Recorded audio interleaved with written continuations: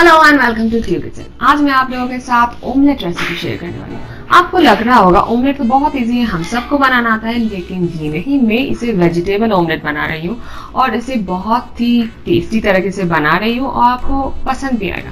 और ये बहुत हेल्दी भी है, इसका कैलोरी काउंट भी मैं आपको देने की कोशिश करूँगी। आप में से कितने को ऐसा लगता है कि एक यॉक में सिर्फ़ फैट है? जी नहीं, अगर आपका कोई भी कोलेस्ट्रॉल या फिर ऐसा कुछ भी बीमारी नहीं है तो आप हर रोज दो होल एग्स खा सकते हैं।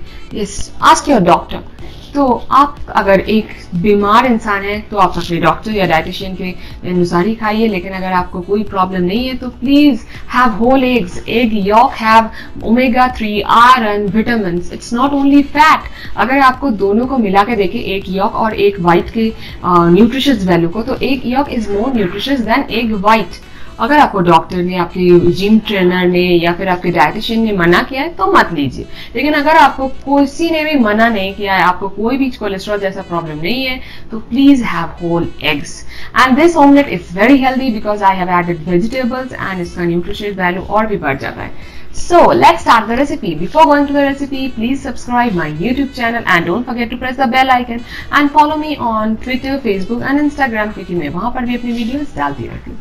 So let's start the recipe.